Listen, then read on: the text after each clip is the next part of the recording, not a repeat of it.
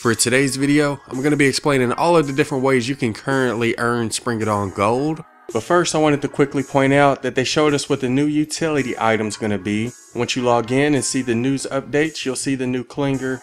And it's going to be able to stick to surfaces as well as husks. So I believe it's going to be like a sticky bomb. And I believe you're going to be able to find this the same way you do impulse grenades and remote explosives. Just search containers throughout the map and you should be able to get this new Clinger. The second thing I wanted to point out is patch 3.6 is supposed to be released at 4 a.m. Eastern Standard Time.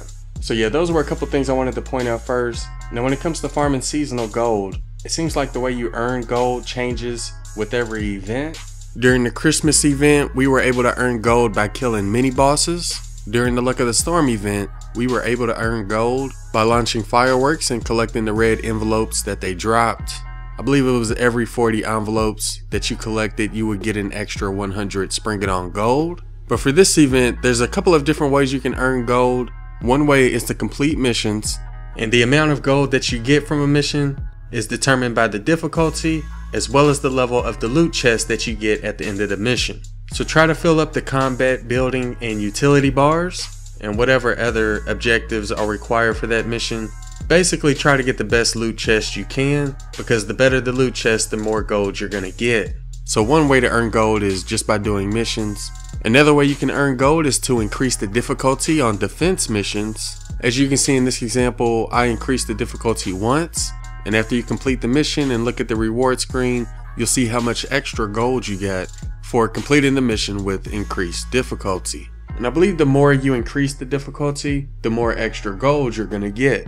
In this example, we only increased it once. And we used to get tickets as well as gold whenever we increased the difficulty, but the way it's currently set up is that you'll only get extra gold.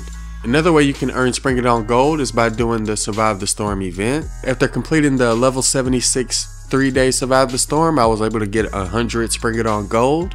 And after completing the level 76 7 day Survive the Storm, I was able to get 260 Spring It On Gold. And the final way, which is probably the best way to earn gold, is to do Mutant Storms. Because if you look under quest, you'll see that there's an Endless Storms quest, which gives you extra Spring It On Gold every time you complete two Mutant Storm missions.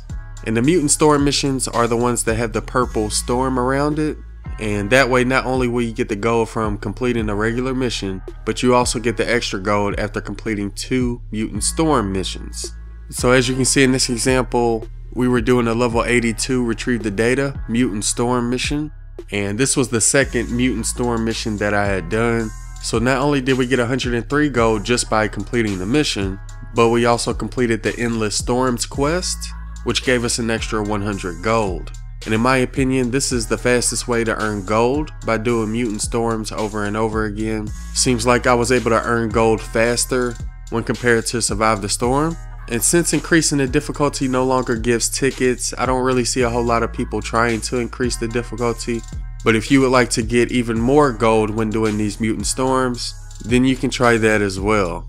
And I guess the last thing I should point out when it comes to mutant storms is that there is a cap on the mutant storm rewards. You can only earn 10 of those every day. But there is no cap when it comes to this endless storms quest, so you can do as many mutant storms as you want and get extra gold every time you complete two mutant storms. And that sums up all of the different ways you can currently earn Spring It On Gold.